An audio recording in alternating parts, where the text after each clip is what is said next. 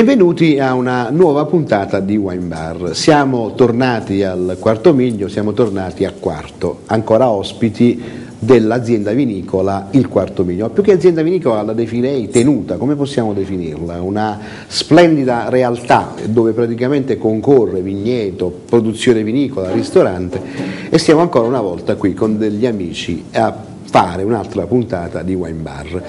Eh, sono, e mi auguro ancora per parecchio, con, Me lo auguro anch'io. ho sempre detto, io ho questo grosso problema con le mie conduttrici, perché arrivano per un certo tempo, poi chissà perché hanno successo, guarda è una cosa incredibile, diventa un trampolino di lancio e diventano Speriamo. importanti, quindi mi auguro che lei diventi importante, ma almeno che qualche settimana stia ancora con noi. Allora, cara Barbara, ci vuoi un attimo presentare gli ospiti di stasera che sono venuti a trovarci? Elia Caliendo. Lia Caliendo è un sarto e quando io detto stilista, lui ha detto no, no, no, non- quasi mi ha fatto che lo mi ha un attimo bloccato. È un sarto, un artigiano, poi ci racconterà che cosa significa essere sarto, essere artigiano e so che il suo vestito sarà una sorpresa perché proviene da qua dove non ce lo immaginiamo assolutamente. Maria Rosaria Botta. È una pittrice, una pittrice che ho conosciuto in un'altra puntata, cioè meglio facendo un'altra puntata in una località che si chiama Caggiano, che era mh, per una serie di motivi eravamo ospiti del comune e siamo stati all'interno di una struttura dove erano stati esposti dei quadri che mi hanno colpito particolarmente e mh, ho voluto che fosse in trasmissione. Eh, Maria Rosaria Botta è una pittrice, una donna che racconta le donne, le racconta anche in una maniera, come poi vedremo sfogliando il suo catalogo, in una maniera fortemente erotica. Ritroviamo Giancarlo Bruschini. Già stato Buonasera. ospite nell'altra puntata che abbiamo girato qui a Quarto Miglio, ma ah, mi auguro che sia una persona che poi entri a far parte del nostro gruppo perché, come molti sanno, siamo in procinto di varare una serie di prodotti televisivi legati al mistero, legati alla scienza e eh, avendo scoperto questo libro che è veramente affascinante, che è L'anello mancante, eh, sarei veramente contento se lui potesse in qualche modo venirci a raccontare in maniera poi dettagliata, oltre come farà stasera, di questo anello mancante. È una cosa molto intrigante, poi lo scopriremo insieme. Forse è un tema che andrebbe benissimo per un programma come Voyager con Giacobbo o per programmi che toccano il mistero. Molto interessante, avremo modo di conoscerlo. Gennaro Pagano. Gennaro Pagano è il nostro anfitrione, è il direttore commerciale del Quarto Miglio, già ci ospita da più tempo, lo trovo stasera non perfettamente in forma, siamo tutti un po' febbricitanti, questo Eh beh, tempo ci ha giocato un po' di scherzi, quindi lo vedo abbastanza, però sempre pronto ad ospitarci, sempre pronto a essere gentilissimo. Con Poi molto piacere. Ci racconterà un po' di che cosa sta facendo, perché so che state facendo tante iniziative, si parla di cavalieri, si parla di equitazione, quindi di golf e di tante altre cose. Miguel De Sosa, spero di averlo detto bene. È Buonasera a molto lei. particolare, avere eh, un ospite portoghese ci fa estremamente piacere, è un golf manager. Avremo poi, poi nel corso della puntata di approfondire questo argomento e di conoscere che cos'è un golf manager. Esther Chianelli, buonasera. Esther è un personaggio televisivo, anche lei fa televisione, fa un programma molto molto bello che si chiama Village, Village, sì. è un programma che va in onda su tante altre televisioni, viaggiano, Sì. viaggiano tantissimo. Bellissimi viaggi che appunto eh, tramite la trasmissione che ho fatto eh, ho visitato tut- parecchi posti del mondo particolarissimi. È un- come tu vedi, noi abbiamo fatto due scelte vincenti, no? Io mi sono scel- dico che ho sempre fame, no? Ho deciso di fare un programma dove ogni sera ceno bene con amici, convivio, cioè tu ami viaggi, viaggiare. Potremmo fare qualcosa insieme, wine bar viaggiando potrebbe essere Splendido, una grande idea. Andiamo a fare quella un programma in, eh, che ti voglio dire anche in altre nazioni, eccetera. Subito, stato- abbiamo il Portogallo. quindi- Abbiamo praticamente la possibilità di farlo. Bene, stasera parliamo di un argomento molto particolare che la GRIF, eh, il cosiddetto abito firmato, può realmente essere utile per sentirsi diversi, per sentirsi migliore? È un argomento che in qualche modo intriga un po' tutti, allora vorrei con voi affrontarlo, ma prima di fare inizio, dare inizio alla nostra chiacchierata, come è nostro solito, lanciare il video, il film, che è praticamente l'elemento introduttivo. E abbiamo scelto un film che è particolarissimo, che è Il diavolo veste Prada, scegliendo alcune immagini molto particolari. Eh, mi chiamo Andy Sachs. Mi, mi sono laureata da poco alla Northwestern University. E che cosa ci fai qui? Eh, penso di avere le capacità per lavorare come sua assistente. E E prima di oggi non avevi mai sentito parlare di me? no, E non hai la minima idea dello stile, del senso della moda? beh, penso che dipenda da quello che uno... No, no. Non era una domanda. Bene, abbiamo visto questi frammenti, ma sono soltanto un elemento per introdurre il tema della moda, il tema della griff. Mi dicevi una cosa prima? Sì, io eh, addirittura sono talmente affascinata dal film Il diavolo veste Prada che... Perché eh, affascina questo film? Vabbè, perché la moda comunque alle donne ha sempre fatto un, insomma, un po' gola, però eh, in particolar modo a me le scarpe e le borse. Le scarpe. Le scarpe con i tacchi alti, stivali. Ah, quasi una forma di eh, feticismo. Eh sì, devo dire che insomma mia mamma molte volte ha minacciato o tu o le scarpe. Addirittura? Sì, quindi anzi ora ho deciso di trasferirmi io e le scarpe, mia mamma finalmente è felice. Però la, la- la cosa divertente del film è che mi ero talmente innamorata di una borsa che si vede nel film che eh, ho costretto quasi un artigiano che io conosco che lavora la pelle a rifarmela e sono andata su internet e ho trovato proprio il modello preciso, così proprio, sì, mm, c'è proprio il modello da tagliare e me l'ha, me l'ha fatta me l'ha, l'ha rifatta identica, però non è una griffa perché quella è una griffa È una copia, importante. è una è una copia, è una spudorata copia fatta perfetta. Allora, eh, l'amico musicista che anche stasera è venuto a trovarci a Facciamo Magno, un pezzo velocissimo per addolcire un po' la serata e poi per permetterci di iniziare la nostra chiacchierata. Ti si fatta una vesta scollata, un capello quei nastri e quei rosa, stiva in mezzo a tre o quattro chantose e parlava francese così. Bene, allora, introduzione proprio in perfetto tema, ti si è fatta una veste scullata. Allora, vediamo un attimo, partendo proprio dal nostro amico Sarto, che non vuole essere definito stilista, eh, perché una persona deve comprare una griff e perché la griff gli dà sicurezza, secondo te? Con spunto dall'esempio che ha fatto Certo. lei. Non nel suo caso, che quindi lei, a lei è piaciuto il prodotto, e non, ha, non ha avuto per lei un- come dire, l'importanza del prodotto griffato, ma è piaciuto il modello, lei se l'è fatto rifare. Quindi va al di là del fatto Esattamente, gli piace e- l'oggetto, Esatto, eh. se l'è andata a comprare Certo. e lo ha fatto fare da un artigiano, colui che è capace di poter ripetere qualunque cosa faccia parte del suo lavoro. Però a differenza sua ci sono tantissime persone che vedono la griff come un punto di arrivo, nel senso che eh, nel caso dello stesso film, per identificarsi con l'attrice, non, fanno, non potendoci arrivare perché non sono attori professionisti o comunque non possono eh, raggiungere quello status di bellezza, per arrivare a quel momento del film comprano la griff che in quel caso può essere la borsa, si parla di scarpe, Ma tutto questo, perdonami, non crea una situazione anche abbastanza particolare, per cui un prodotto che intrinsecamente ha un valore acquisisce un valore semmai 10 volte più grande soltanto perché c'è una firma, per questo esistono poi i testimonial. ma esistono anche dei falsi però. Ma il falso è un prodotto fatto apposta per aumentare la fama dell'originale. Davvero? Eh, notizie comuni, eh, parlando di hacker per quello che è il web, parlando della moda, loro non combattono la contraffazione perché è una pubblicità non pagata. Avere un prodotto No, contraffatto. scusa, cosa c'entrano gli hacker con la contraffazione? Gli hacker Eh. sono praticamente dei, eh, delle persone che lavorano all'interno delle società di software che non, fa- non per combattere i virus, loro li fanno i virus, così si vendono gli antivirus.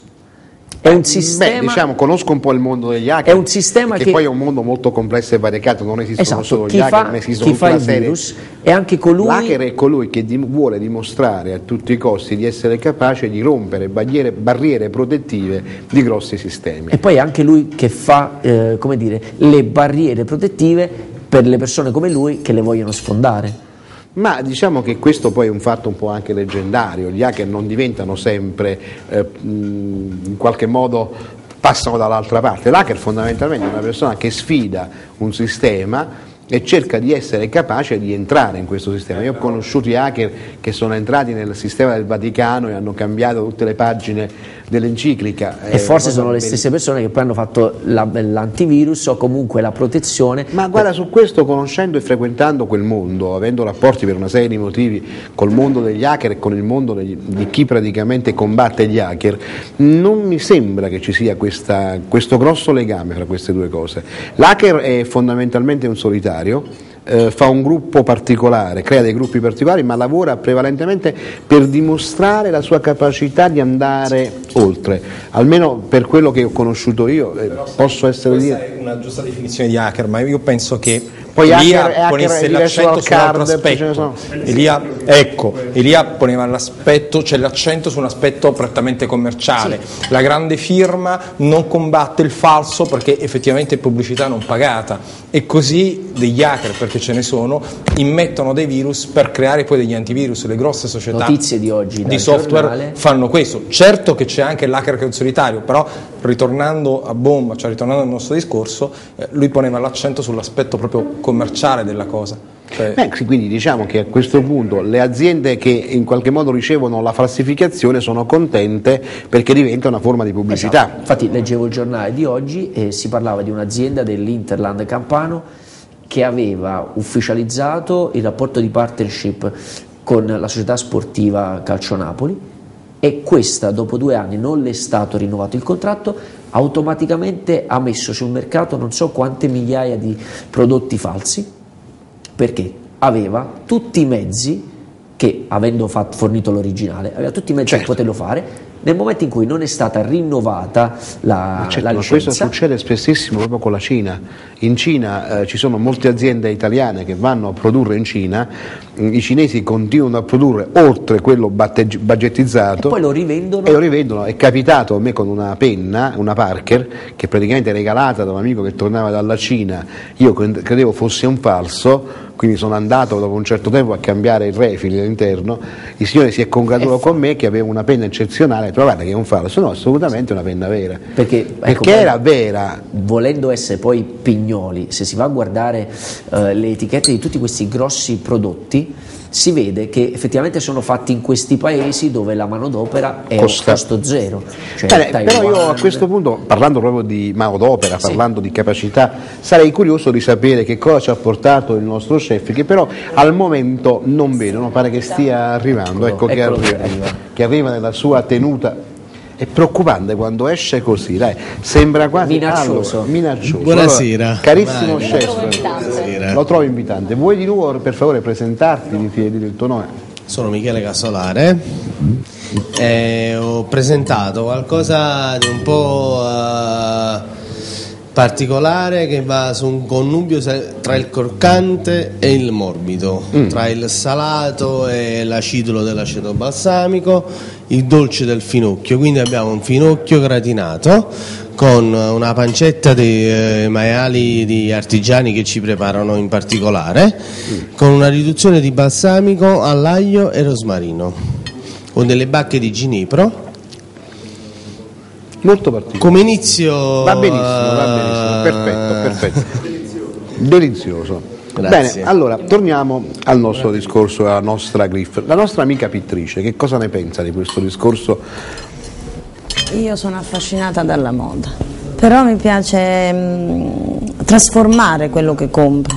È ovvio che mi ritrovo con le firme, mi, mi ci ritrovo, ma non per avere quella firma, mm, ma perché scelgo la qualità, il modello. Quindi tu sei convinta che Griff equivale a qualità? No, non sempre, non sempre perché compro anche dai- eh, ai mercatini, mi, mi creo le mie cose, non tutte le griffe assolutamente, ce ne sono alcune che servono soltanto per, ehm, per gratificare la grande massa e dar loro il piacere di poter possedere, ma solo ed esclusivamente un nome, Certo uno tue- stemma. Eh, Le tue donne non hanno molte Griff perché sono prevalentemente nude. sì. Come mai questa Mi scelta affascina il nudo. Eh?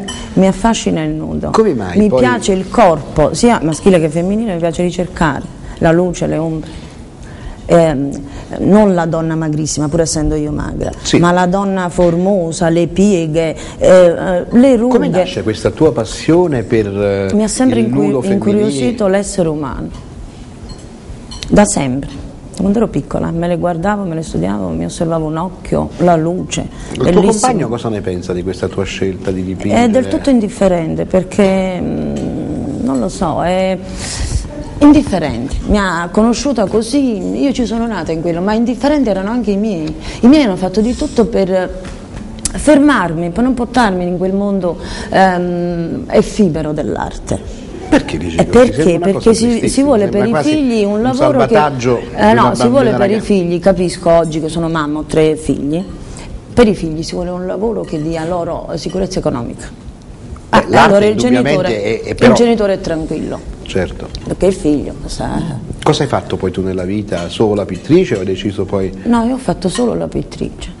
Quindi tu sei pittrice E professionale? carico la mia macchina dei miei quadri, espongo, vado in giro e vivo così e ne sono felicissima. Ma per carità, invece Eh, tuo marito cosa fa? Mio marito è un operaio, è un operaio, nasce da una famiglia contadina, è più contadino che operaio. Quindi proprio due mondi Due completamente... mondi come- mi affascina molto il suo mondo. Per carità, era Mi soltanto una, una curiosità, il pragmatismo di tuo Sì, marito. perché io lo, lo seguo quando mh, coltiva le cose e mi, mi affascina il veder nascere e crescere. Mm, Quindi proprio un contatto con Tipo la... io ce- eh, faccio di tutto per salvare quegli insettini che lui a tutti i costi vuole ammazzare. Eh, E vivo in casa. questo, sì, è un contrasto, però a volte mi asseconda. A volte mi Guarda, asseconda. tu che cerchi di salvare questi animaletti, una Ah cosa... sì, perché sono affascinanti, sono Ma bellissimi. come fai a salvare? Sono migliaia, cioè che fai? Ma che serve ammazzarli visto che Ho rinascono? capito, ma cosa fai? Cioè, ci lì? parli, li convinci ad andare via? Cioè, non- A chi agli insettini? Certo. No, io convinco mio marito a non ammazzarli. No, mi spiega questa E lui per non sentirmi Dipende, non li ammazza. dipende, dipende, perché adesso Ma io ho scoperto da poco che la patata nasce sottoterra. L'ho capito da Dai, poco. ci- è un tubero, no? Ed è bellissima la sua crescita. Ah, perché non mi portava? Perché io do fastidio. No, scusa, fammi capire, tu da poco, quindi in età avanzata, in età Ah, adulta... in età adulta. ehm, Avanzata è brutto. No, nel senso, Ah, avanzata negli anni.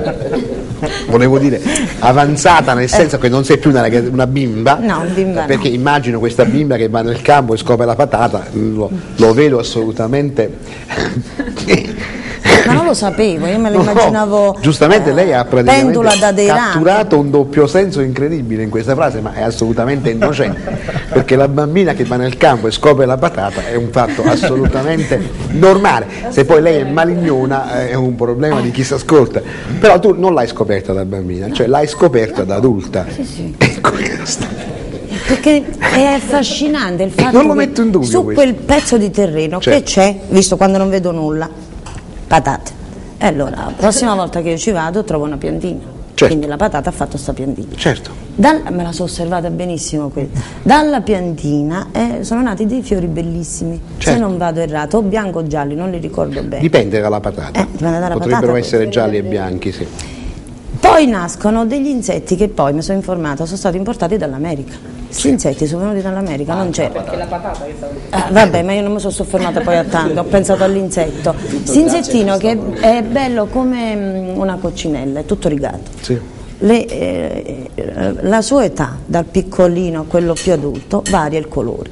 Prima a pallini, poi a righette, poi comincia a volare, quindi si sposta da una piantina all'altra. Eh, È una cosa interessante, è, una puntata di quark praticamente. È È bellissimo stupendo. per me.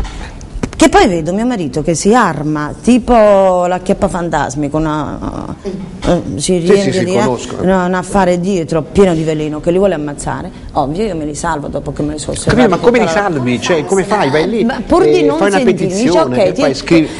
mangiate metà, eh, metà patate voi, metà patate gli insettini e quello che ti resta ti mangi. Ecco, Ah, ecco la eh, risposta di lui.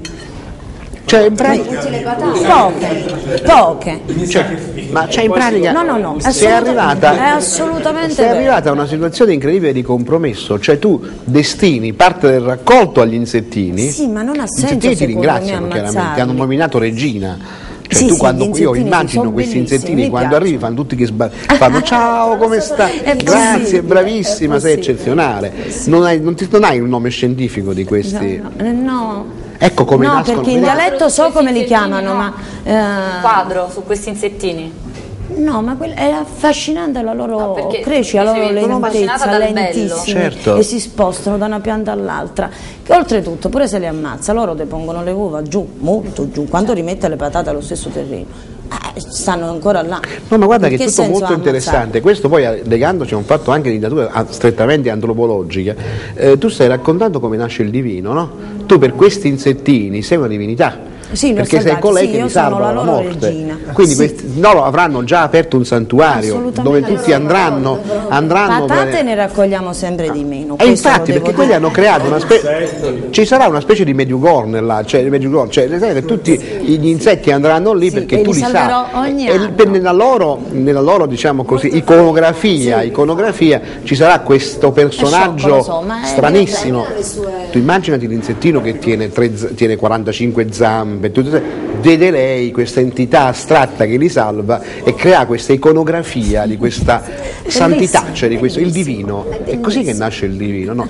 E allora andiamo un attimo a parlare proprio di questo, perché penso che chi fa, chi fa ricerca antropologica, chi fa ricerca ha molto a che fare con queste cose. Io ho visto molto di queste immagini, molte le conoscevo già come ricercatore del CICAP, ho avuto più di una volta modo di guardare queste immagini.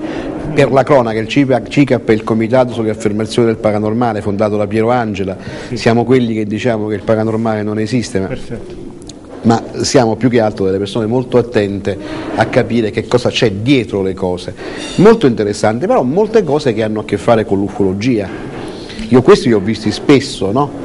nei testi di ufologia in cui c'è questo forte legame tra noi e qualche altra eh, diciamo, razza aliena che sarebbe un attimo l'ane- l'anello mancante in qualche modo. Ma non è che il tuo libro alla fine dice che gli alieni sono l'anello mancante? Eh, in qualche modo sì, però non si parla di alieni, si parla di tecnologie terrestri. Questa diventa un po' più difficile. È più difficile da concepire, eppure la realtà è questa. Noi abbiamo testimonianze dell'antichità di- e tracce molto evidenti di tecnologie avanzatissime. Perfetto. Quello questo- che io mi sono detto è semplicemente non è fare una ricerca sugli alieni perché non mi interessa minimamente. Fin quando non ne vedrò uno, insomma, non crederò poi eh, in modo affermativo. Il discorso è se è vero che l'umanità ha subito una catastrofe, così come le prove archeologiche ci sono, e se è vero che l'umanità stessa era arrivata a un grado eh, di tecnologia avanzata, allora se quell'umanità è scomparsa, e ci sono molti refi archeologici che dimostrano che l'uomo ehm, aveva acquisito delle conoscenze molto superiori addirittura a quelle attuali, ma si parla di ritrovamenti archeologici e non di mitologia, allora è doveroso conoscere quella storia per non commettere gli stessi errori. È molto interessante, certo che poi Perché si parla tanto del 2012. il calendario Maya. del calendario Maya e parlano proprio di una grande catastrofe che andrà a eh, diciamo, eh, mh, creare talmente scompiglio da ritornare indietro. E chi sarà in grado di conservare ciò che eh, è stato fatto finora eh, riuscirà a mantenerlo, chi non è stato capace ormai ne perderà. È praticamente la stessa cosa? Allora, sul Perché la mia 2012 curiosità- sono state fatte tante illazioni e poi c'è chi crede una cosa e chi ne crede un'altra. Io effettivamente, come tutti, penso noi, ho, ho- ho letto, mi sono documentato e è difficile capire esattamente quello che succederà e se succederà qualcosa. Non succederà assolutamente Ecco. nulla. Perché comunque sia, stiamo parlando comunque di esseri umani che sì, avranno avuto delle conoscenze matematiche perfette, bellissime, eccetera, è un po' come l'astrologia oggi, no? Accendi la radio al mattino e senti dire oggi succederà questo, ti No, bene, quella è una bestialità grandissima, Ecco. ti prego. non- E penso che comunque sia qui si parla... rincuorare, secondo me. Io non tratto basta. assolutamente No, no, no, questi diciamo che, che gli oroscopi sono delle bugie assolute, non c'è nessun scienza, legame tra noi e gli astri, questo è scientificamente provato, non- sono semplicemente delle cose che servono per... È possibile una cosa però, Certo. se è vero che avessero acquisito delle conoscenze eh, molto particolari sul, sul creato e quindi sull'astronomia, non sull'astrologia, è possibile che conoscessero anche il percorso di determinati asteroidi, per esempio. Alc- In alcuni scritti si, si evince questo, no? Si parla di antiche popolazioni che conoscevano costellazioni che noi oggi a occhio nudo non vediamo, no? Che vediamo Certo, soltanto attraverso alcune strumentazioni. sono, ci sono delle ricerche proprio scientifiche legate al mondo egizio in cui alcune stelle come la cintura di Sirio, di Sirio la famosa cintura di Orione, Di Orione. sarebbe addirittura la rappresentazione di un sistema che oggi si riscontra addirittura con caratteristiche che certamente non potevano essere conosciute. Assolutamente. Però ripeto, bisogna stare molto attenti, quando si fanno Non queste decodifiche molte- Sì, sì, bisogna sì. stare attenti perché bisognerebbe essere veramente chiaro, molto conoscitori. Però onde mh, tornare un attimo con i Certo. piedi per terra, torniamo in un bellissimo campo da golf. Allora, cos'è un golf manager? Uh, golf manager è un termo inglese, eh, già che si parla di manager, che è un basi- eh, praticamente è un direttore. Un direttore di cosa? Ecco, vediamo un attimo Allora, di capire. direttore di un campo eh, di 18 buche unico in Campania, eh, qua Castelvolturno, molto 18 vicino. buche da 18 golf, buche. che significa molto grande in effetti. Sì, occupa circa 45 ettari di, Salute, terreno. insomma, una bella passeggiata. Sì, una bella passeggiata in nat- natura, il nostro campo vicino al mare, eh, tra la pineta e il mare. Eh, e dopo abbiamo anche in progetto, già in costruzione per aprire il prossimo settembre, eh, un, campo- un altro campo di 18 buche. Come ci si arriva? Scusami, si cammina con i trenini dentro, ci sono le, macchine, le famose Allora, macchinine.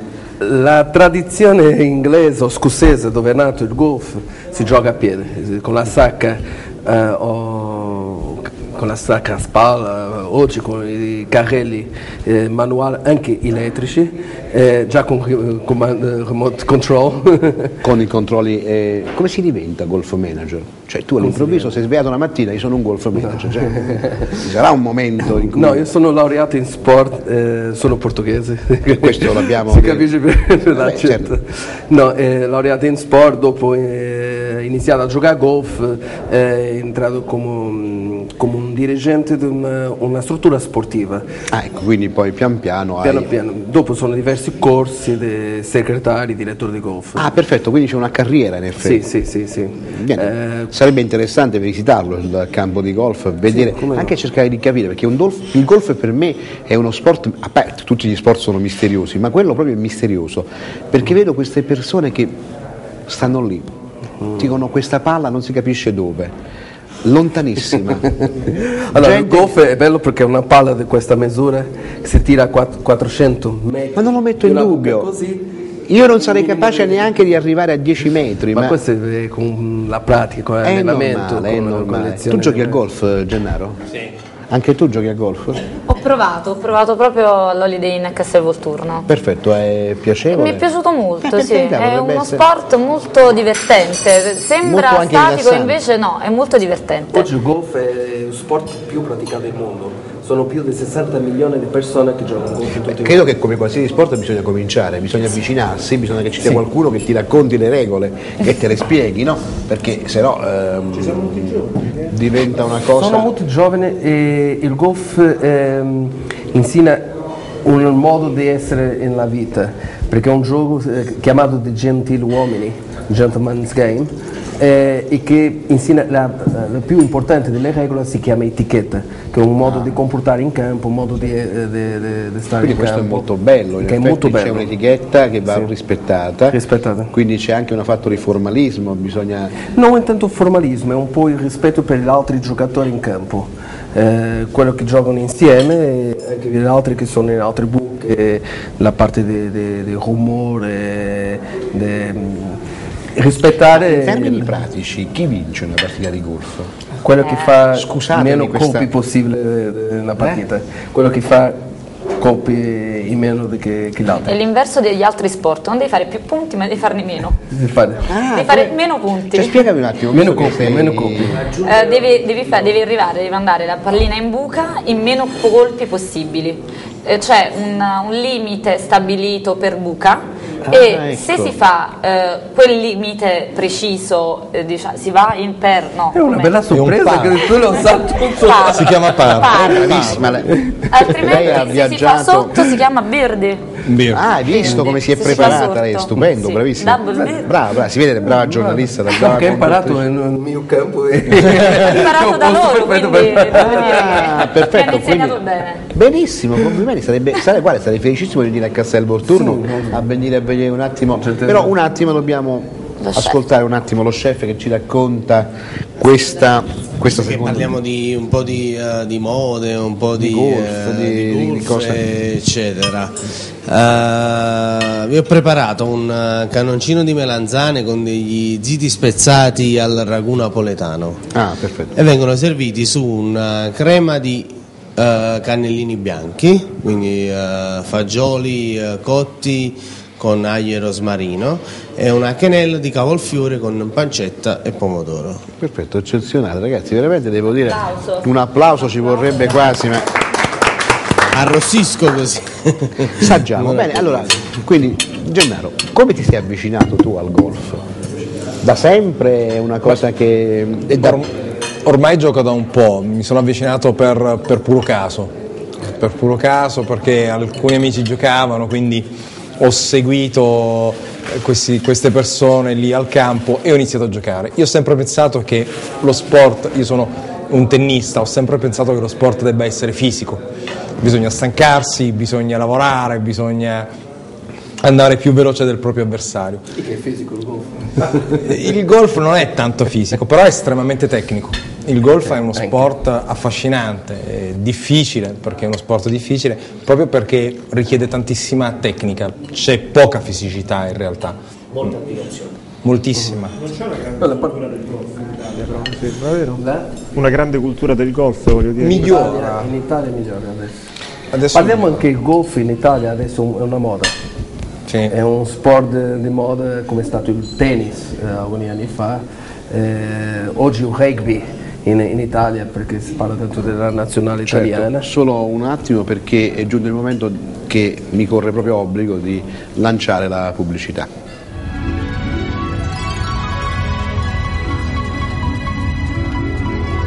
Qui in compagnia di Giulio Cesare Senatore, amministratore della Bielisir e siamo qui a parlare di una particolarissima crema che è l'elicina, che ha un altrettanto particolare contenuto, l'estratto di bava di lumaca. All'inizio a sentir parlare di questa crema e di questo contenuto sono rimasta un po' perplessa, poi l'ho provata e sono rimasta soddisfatta delle sue capacità. Quindi chiediamo a Giulio, Giulio, come mai estratti di bava di lumaca?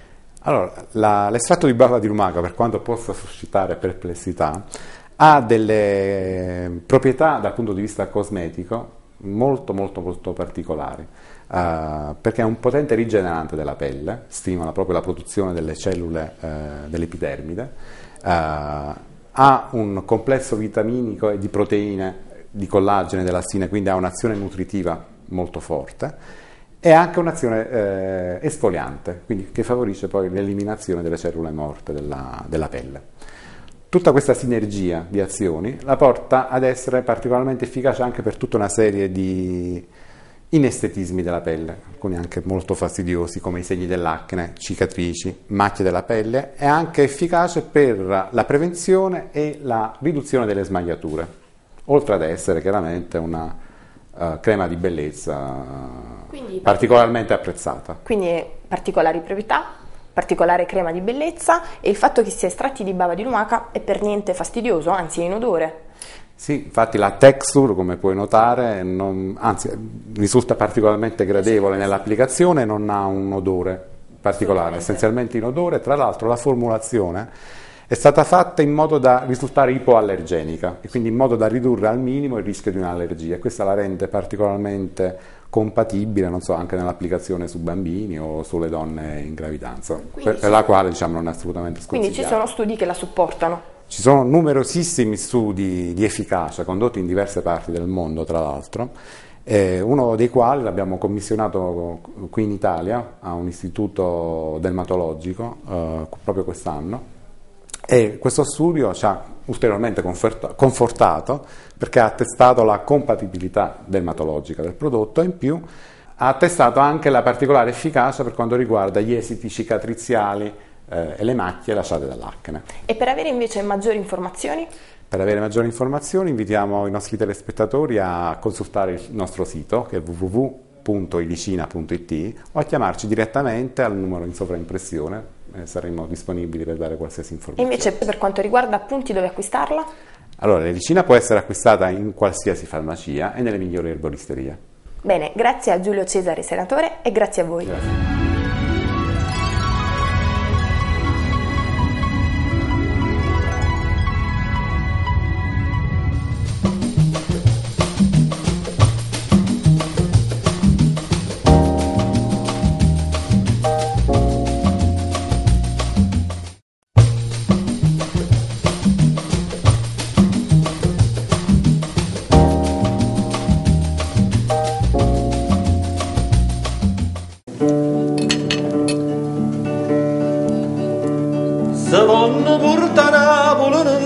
Faccia qua paese, miliardari che fanno spese, se ne trovano in quantità. No bello giorno tec di sapore di tan fatta, Capusilla che ha fatto sfratta, io Vesuvio va trovato sta.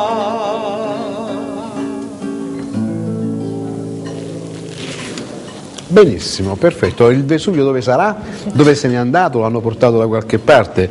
È sparito. Sotto la neve, sotto la neve. È un periodo, è un inverno abbastanza freddo quello che stiamo vivendo, anche particolare. Com'è il tempo, il clima nel tuo paese d'origine? E a nord è uguale. Qual è il tuo paese proprio? Portogallo. Eh, no, il Portogallo è come dire l'Italia. cioè, No, eh, io, una- sono, io sono nato in Porto, dove il clima è un po' come nord Italia. Però Ah, il Porto, che poi sarebbe quello che dà origine anche al liquore, no? al vino, vino, Vino del di Porto. Vino Eh, liquoroso sì, però, sì, chiaramente. E dopo anche la regione del Douro, che è un bello posto di vino. eh. Però negli ultimi 13 anni abitavo sempre in Algarve, che è il sud del Portogallo, che il clima già è come il sud Italia, anche la pioggia, il freddo non è Come sono i presente. vini in Portogallo? Sono buone. E parlando di vini, a questo punto penso che sia il caso di parlare dei vini del quarto video, che sono gli amici che ci ospitano. Ne vuoi parlare tu o vogliamo chiamare il nostro... Io direi che questa volta vale la pena di sentire il nostro enologo, Eh beh, sentire certo, chi crea il nostro vino, sì. visto che Se siamo qui in casa riusciamo a farlo arrivare qui vicino al tavolo, perché penso che sia mm, in altre faccende affaccendate. Allora, nel frattempo noi continuiamo la nostra chiacchierata nel momento in cui arriva. Allora, mh, non abbiamo ancora chiarito qual è il mistero che c'è dietro questo libro, no? Ci stai tenendo sempre in maniera... mh, Sulle in- spine. sulle spine. Non c'è una risposta concreta e solleva Beh. sicuramente tante altre domande. Quello Vogliamo che- vedere quali sono queste domande? Cioè, poniamoci proprio le chi domande... siamo, da dove veniamo, dove andiamo, eccetera. Le classiche Questo domande. ce lo chiediamo tutti. Però eh, trovare, eh, non lo so, se noi trovassimo in una tomba del Medioevo un motorino, Beh, certo, per sarebbe- intenderci, ce l'ha no? messo qualcuno, insomma, Ecco. qualche ladro che ha nascosto. Sarebbe chiar- chiaramente un oggetto fuori contesto. Ora, questi vengono definiti oggetti fuori contesto nell'archeologia. E ce ne sono tanti, tant'è vero che molti archeologi mi hanno confermato che quando vengono ritrovati vengono anche distrutti. Perché, perché sono fuori collidono chiaramente con le teorie ufficiali. Ma non potrebbe essere che esiste un meccanismo diverso e in questo momento faccio un attimo il CICAP. Ciclico magari. No, faccio un attimo il CICAP, no. Tu sai come funziona il concetto del generale per il particolare? Il? Generale per il particolare è uno dei principi su cui funziona la nostra mente. Cioè la nostra mente ha una caratteristica, se, eh, se noi apprendiamo qualcosa che è generale, meccanicamente, automaticamente la riconduciamo a un nostro particolare. Ovvero, quando leggi un oroscopo, cosa fai? Tu leggi una frase generica, però la porti alla tua situazione reale, quindi elabori quello che tu hai letto col tuo vissuto. Non potrebbe essere un qualcosa di simile, cioè che quello che viene visto viene interpretato attraverso l'ottica del 2010. Perché molte delle, delle immagini che eh, io ho visto nel tuo libro sono ampiamente spiegate, cioè nel senso che non raccontano quello che apparentemente si vede, ma raccontano qualcosa di fortemente diverso, che chiaramente per questo processo vengono interpretate, cioè la famosa eh, immagine egizia dove sembra esserci degli elicotteri, degli aerei, penso che è una, abbastanza comune, che si è capito chiaramente che sono delle sovrapposizioni quindi nulla che abbia e che chiaramente noi ricordiamo. Mi è capitata una cosa molto particolare, Eh, a prova della ufologia, cioè dell'esistenza degli UFO, si parlava di un dipinto che- in cui ci sarebbe uno schieramento di UFO. È un, un quadro che è conservato qui vicino Napoli, nel- a Napoli proprio, nel Museo di Capodimonte. E mi è capitato di, cioè mi è capitato, cioè ho fatto la scelta di andarlo a vedere. Bene, veramente, apparentemente potrebbero sembrare degli UFO. Però facendo uno studio comparativo con la pittura dell'epoca mi sono reso conto che le nuvole venivano rappresentate tutte in maniera lenticolare. Sì, sì, Quindi attenzione, perché bisogna essere speculativi. Bisogna essere scienziati, perché se noi vedessimo un fulmine globulare, io penso che ben pochi di noi penserebbero che è un fulmine, perché è una palla di fuoco che ti insegue, che ha delle caratteristiche molto più vicine a un UFO che non a un fulmine. Allora, ho un unico dubbio, ma Sono non è che sono interpretazioni dovute alla nostra mente di uomini del 2000? In molti casi sicuramente, sono perfettamente d'accordo, ci sono molti quadri rinascimentali per esempio, no? sì, io vedo che molte, in, molte. in un caso per esempio quello che veniva definito un UFO è stato chiaramente interpretato come un cappello di un cardinale che Certo, ma anche la famosa tavola di. Palenche, no? Come Cioè, anche la di Palenche, che eccetera, sembrerebbe rappresentare un uomo all'interno di un'astronave. ben altro. Però poi sì, io infatti non mi limito a dare una spiegazione personale, però mh, prendo in analisi eh, tantissimi reperti che in realtà hanno un'origine o una storia più complessa. Per esempio, se troviamo, come è accaduto, e ce ne sono tantissimi casi in vari musei, alcune foto le ho riportate, scheletri umani di 5,80 m che non sono il prodotto di calchi. No. Allora qui ci ritorna in Possiamo mente... parlare dell'epoca dei giganti, no? Così Sì, e qui ci ritorna in mente la mitologia, la Genesi, il capitolo 6, il libro di Enoch, eh, l'epopea di Parliamo di Gilgamesh. eno, eno, enologia, scusami un attimo, c'è il nostro amico che sta aspettando lì pronto a parlarci buonasera dei suoi vini. Buonasera Allora Ciro, vogliamo raccontare un attimo questi vini che stiamo bevendo? Allora, mh, vedo con piacere che state bevendo un ottimo piedirosso. Ottimo, davvero, veramente ben calibrato. Quindi vi è piaciuto, noto con piacere Certamente che sì. lo state degustando con... Sì, veramente valido. Niente, per quanto riguarda la nostra azienda, eh, noi ci mettiamo prima di tutto la passione nel produrre l'ottimo vino. Produciamo, abbiamo la fortuna di stare in un territorio, Campi Flegrei, che, che ha una, una storicità di circa 3.000 anni, dove appunto si può vinificare, abbiamo la fortuna di vinificare questi vini che sono ancora intatti geneticamente, quindi dalla- dall'attacco della fillossera, e quindi hanno circa 3.000 anni di storia dall'importazione ellenica. Non c'era la signora che le proteggeva praticamente, perché tu non sai, tu non eri presente, ma non la, ero presente. ma la signora ci ha raccontato che lei protegge, gli, no le patate, protegge gli animaletti che attaccano le patate, quindi devi mai stare attento perché se la signora viene qui fa un comitato a protezione della filossera. No, E quindi- più, più che altro c'è stata una selezione, natu- una selezione naturale, diciamo che nel nostro territorio questa fillossera che era un parassita che diffuse No, vitelli- esperta, non ti preoccupare, ha fatto amicizia con i parassiti, questo- questo- e quindi abbiamo avuto questa fortuna, quindi da allora, eh, da- dall'importazione abbiamo ancora questi import- da- su Piedefranco, quindi che è una originalità del nostro territorio.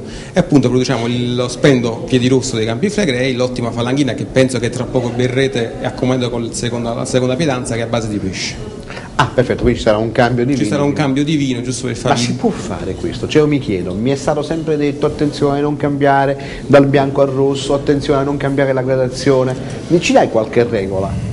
Guarda, su questo non è proprio del tutto vero, diciamo che in teoria è da seguire un, un filo eh, nel- sotto l'aspetto alcolico Di un- di crescita. In questo caso passiamo da un piedirosso di 13 gradi a una falanghina di 12 gradi e mezzo, quasi 13, quindi Beh, diciamo stesso, stesso- quasi stessa struttura alcolica e tra l'altro aspetto ha una bella struttura di fondo, un vino che ha una certa stabilità, una certa persistenza e quindi può contrastare benissimo quello che è la pietanza, ma poi eh, la gradevolenza appunto di avere un, un bianco che subentra dopo un rosso, quindi questo è legato poco che altro alla, alla tipologia di prodotto.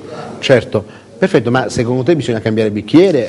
Già provveduto? l'abile Ecco, Salvatore perfetto. ha Salvatore è provveduto. bravissimo, cioè, rassomiglia in maniera incredibile a Maurizio Michetti, quindi diciamo che Si è tagliato i capelli, quindi la, molto- la la somiglianza è, è cresciuta è moltissimo. cresciuta davvero.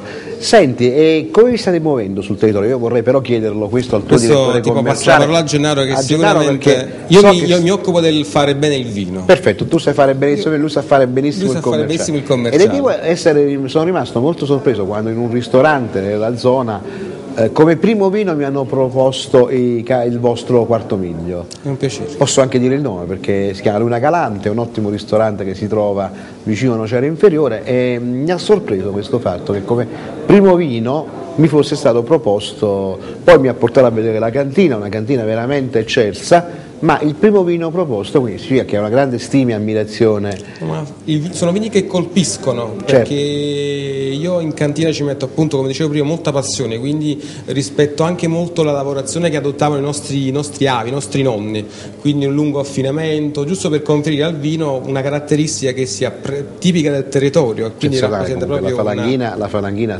veramente Quindi, è, dei vostri, è dei vostri territori. quindi molto sapida, molto Certo. profonda anche al palato, quindi rimane molto lunga anche in bocca, quindi è una caratteristica che Veramente ci fa- ottima, veramente ci fa ottima. sicuramente ben sperare. Allora, vediamo un attimo le varie iniziative commerciali. Ci lasci? Che Io fai? vi lascio. Perfetto, noi continuiamo a chiacchierare con il nostro. buon appetito. Grazie, gentilissimo di averci ospitato. Allora, Gennaro, le iniziative mh, dei prossimi mesi, tante cose, il golf, il, eh, siete un'azienda veramente aperta all'innovazione, alla cultura.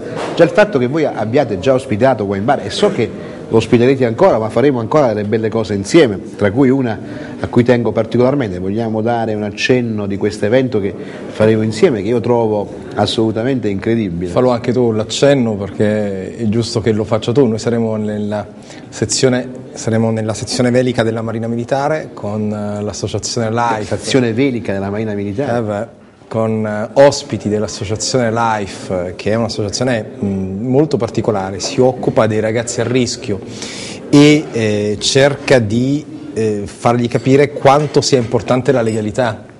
Basti pensare che questi ragazzi vanno in barca a vela, fanno equipaggio con i carabinieri, che, bello. generalmente sono i loro nemici. Quindi Questa è bellissima, sì, sarà una cosa secondo me molto bella ed è- sarebbe importante far conoscere questa associazione. Lei è responsabile di questa associazione? No, Ah, no, il responsabile è un nostro caro amico, è Stefano Lanfranco. Stefano Lanfranco che è una persona eh, veramente eccezionale, ci mette l'anima in questa iniziativa, veramente da tutto se stesso, cerca di fare, di fare molto bene, noi stiamo cercando di dargli una mano in questa direzione e, e poi avremo modo di parlarne in maniera diffusa quando Durante ci incontreremo. puntata, sì, quando faremo uno speciale di Wine Bar dalla, dalla Marina Militare, Sì, sarà sì. un evento molto particolare, ma abbiamo anche altre cose in cantiere. E, allora, tu viaggi tantissimo, hai viaggiato tanto. Però il posto dove si mangia meglio è l'Italia. Sì, su Non questo guarda, ti dubbi, giuro, guarda, assolutamente. io ho avuto un'esperienza Dove- Beh, ho bevuto bene anche in un altro Dove? posto, in Sudafrica. Mm. In Sudafrica ho bevuto molto molto bene, sia i bianchi che i rossi, eh, perché c'è una regione del Sudafrica che proprio si, è chiamata eh, regione dei vini, dove si mangia benissimo, però dove, si beve benissimo, però si mangia bene solo in Italia e quindi anzi stasera abbiamo proprio il trionfo perché vedo eh, insomma scarole Adesso sentiamo un attimo il nostro chef. Allora, sì, ha detto bene, sì, sì. Sono delle seppe grigliate all'aglio cotto e erbette, servite su un letto di scarole, piccanti, croccanti e piccanti. Buonissimo, veramente eccezionale e particolare. E si abbina anche bene con eh, la falanghina che eh, sicuramente il dottor Pagano vi ha illustrato. Sì, ma è eccezionale veramente la cucina, Nei migliori gli dei abbinamenti. Allora, il tuo programma, cioè raccontaci un attimo quello che è il tuo Allora, io programma. sono inviata di un programma televisivo eh, che appunto ha insieme a me tante altre bellissime ragazze che fanno le inviate, che si chiama Village e si occupa principalmente di informazione turistica. Noi siamo inviate appunto in posti, in luoghi eh, fuori Italia, eh, non per forza troppo lontani perché io sono stata anche in Grecia, eh, si va a Sharm el Sheikh, insomma posti non troppo lontani, però sono anche stata alle Seychelles e a Santo Domingo, insomma quindi abbiamo fatto anche bei viaggi. Dove ehm, ci preoccupiamo di eh, spiegare ai nostri telespettatori eh, quali sono le bellezze che si possono vedere in questi luoghi. E insomma, cerchiamo di renderlo più carino, mh, certo sempre con grande professionalità, eh, però è sempre, devo dire che pian piano un negli anni... alla, Chilo- alla Kilimangiaro, no? Eh sì, sì, sì, ci, ci paragonano spesso a, a quello, alle alle falde del Kilimangiaro, però è, è un po' diverso perché comunque noi eh, diamo anche un po' di spazio ai tour operator che ci ospitano, però ehm, devo dire che comunque come programma è un programma di informazione Da quanti fatto anni fai bene. questo programma? Io lo faccio solamente da un anno e mezzo, quasi due, però esiste da sette anni. Quindi sei una inviata giovane, diciamo. Io sono tra le ultime inviate, tra le Quale- giovani inviate. quali sono le località che hai visitato? Io sono stata a Santo Domingo come primo viaggio, poi sono stata alle Seychelles, poi sono stata ehm, in Grecia, Eh, poi ho dovuto rifiutare purtroppo un secondo viaggio eh, alle Seychelles a Natale e presto ce ne saranno altri. Dove andrete? Eh, non- allora, le, le mete sono varie. Eh, ci sarà Kenya, eh, ci sarà eh, Messico, Zanzibar, quindi insomma Eh, mi, sono, sono piacerebbe molto, mi piacerebbe molto fare un, eh, come posso dire, una joint venture con questo programma. Facciamo un wine bar in Kenya. Bellissimo. Sarebbe bellissimo, una grande splendido, idea. un'ottima grande idea. Con le tigri, le- eh, con E la cucina, la, cucina alla Masai. cucina, ecco. alla, alla- degustazione Come no, cibi. per carità, assolutamente, lo possiamo rendere. No, ci hanno proposto di farlo su una nave, lo faremo Ah, prossimamente su una nave, quindi mh, particolare Noi abbiamo idea. lavorato anche sulle crociere, abbiamo Sulla fatto costa? anche no, No. l'MSC. MSC, Ottima, ottima società. Beh, torniamo invece al nostro amico Sarto che sta degustando con piacere Queste seppie. queste seppie, sono veramente buone, diciamo la verità, sono Molto par- saporite. particolarissime. Allora, il tuo lavoro in che cosa consiste realmente? Cioè, tu fai i vestiti? Sì, con le mani. Con le mani, cioè, come, come nasci Sarto? Come si diventa Sarto? Sicuramente di generazione. Mio padre prima di me, perché è un lavoro che se non c'è qualcuno che te lo fa vedere dall'inizio, difficilmente ti può improvvisare. Ma tu volevi diventare sarto? In realtà io volevo farlo, un po' mi somiglia la mia situazione a quella della- di Maria, perché i miei genitori non volevano, soprattutto mio padre preferiva che io studiassi, mi laureassi e come mio fratello ecco, avessi un posto sicuro, un lavoro sicuro, un po' più certo. Però eh, poi crescendo eh, tutti i ragazzi dovrebbero capire che bisogna sempre fare quello che è più simile alla propria personalità e ho cominciato a lavorare. Nel lavorare poi giustamente ho trovato piacere, qualche soddisfazione è cominciata ad arrivare e di lì poi sono riuscito anche a convincere mio padre che poi è il mio maestro. E, e niente, poi il lavoro va da sé, Eh, se c'è la fortuna che è una cosa che deve accompagnare qualunque Dove il lavoro. tuo laboratorio, la tua sartoria? A Napoli. A Napoli. E poi da quattro anni anche uno a Milano. Bene, che quindi- a Milano c'è soltanto la parte commerciale, perché lavoriamo sempre a Napoli e verrà sempre fatto così, perché come un po' per... Fattura che c'è a Napoli probabilmente Esatto, non c'è. stavo appunto dicendo, come per i vini, abbiamo la fortuna di conservare una scuola che nel mio settore è quella che il mondo ci invidia, perché riusciamo a dare molta personalità a un lavoro fatto con le mani, che volendo si può dire, vabbè, nel conoscere il lavoro possono lavorare con le mani.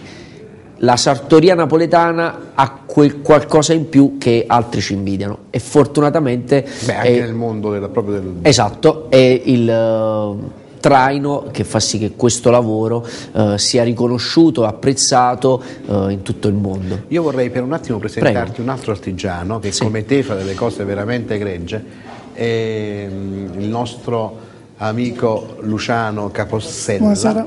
Che è un orafo, bravissimo. Eh, il gioiello che vedi eh, da lei indossato è una sua creazione, ha creato dei gioielli particolarissimi per Catericciarelli, ehm, ha iniziato una collaborazione Sì, con. Marroy Dalì che è il figlio del famoso, proprio ieri ci è venuto a trovare, ha pubblicamente dichiarato lui un suo allievo, quindi eh, in qualche modo si è aperta questa È grande stata un po' una consacrazione artistica. consacrazione artistica che devo dire abbiamo ripreso con le nostre telecamere molto mo- in diretta, molto particolare, sono contentissimo perché veramente è bravissimo. Quindi volevo un attimo che tu ti presentassi ai nostri amici, perché poi in effetti parliamo di quella manualità di cui tu parlavi, no? Artigianalità, ecco. Artigianalità, manualità. Cos'è questo? Sì, stasera abbiamo pezzi che mi interessano più che altro l'artigianato artistico, insomma di opera d'arte Lui in, non è in un, verità un grande non, esperto di microfoni, quindi io devo pregare. non, non abbiamo tanto di arte vera e propria.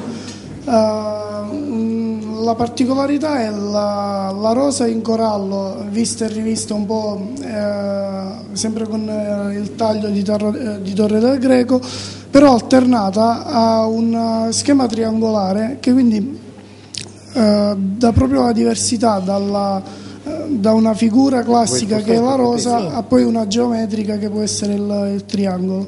Eh, loro sempre con lavorazione etrusca e diciamo, nonostante sia oro giallo non ha quella pesantezza delle lavorazioni industriali, resta molto più chiaro e indossabile. Perfetto, io ti ringrazio veramente molto perché i tuoi lavori sono bellissimi. È stato un piacere averti conosciuto, ma soprattutto mi auguro che la tua collaborazione con Wine Bar si crei un gruppo no, di amici che lo seguono e che praticamente si facciano insieme determinati. Una carovana che va in giro. Una carovana, una carovana che va in giro è un po' il mio sogno, cioè quello di mettere insieme una serie di imprenditori eh, come può essere il nostro carissimo amico Giulio Cesare Senatore con l'Elicina che produce cosmetici in Sardegna. eh, con lui, con al- altri amici che producono occhiali particolarissimi di qualità, quindi creare una cordata che possa in qualche modo fare cultura, perché non bisogna tenere lontana l'imprenditoria dalla cultura, il binomio può essere veramente un elemento vincente, penso.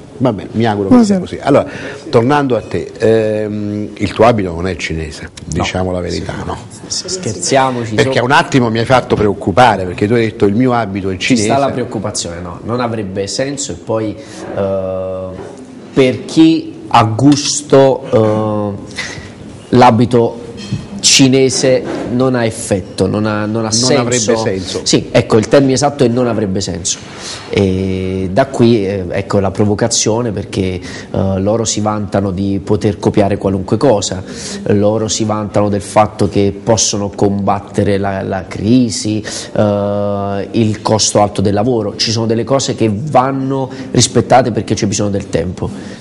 E la cultura cinese, nello specifico, non ha come caratteristica la dedizione. Certo. Loro devono raggiungere un obiettivo, il lavoro artigianale. È un fatto di budget, un fatto di quantità. Sì, perché ecco, nel biolavoro eh, non si fa un abito in un tempo prestabilito, c'è bisogno della predisposizione del cliente che arte, deve misurare è arte, è arte e quello fa sì che il tempo si possa allungare. C'è bisogno poi di conoscere realmente il tessuto perché ogni tessuto ha una variazione di spessore, di lunghezze, di misure che non può essere fatto in serie.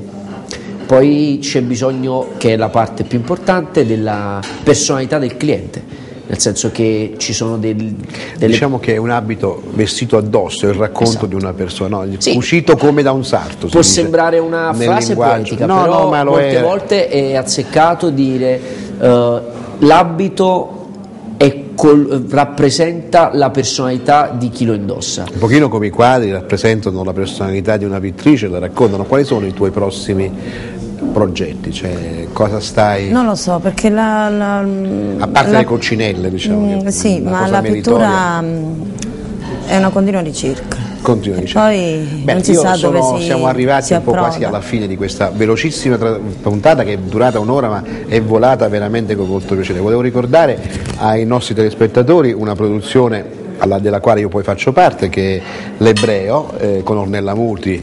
eh, mio- diciamo, non è solo Ornella Muti ma c'è anche Pino Quartullo e Bonucci, bravissimi, un lavoro che dall'apparenza può sembrare un lavoro particolarmente drammatico, loro l'hanno visto, invece non lo è assolutamente, anzi è un lavoro molto ironico.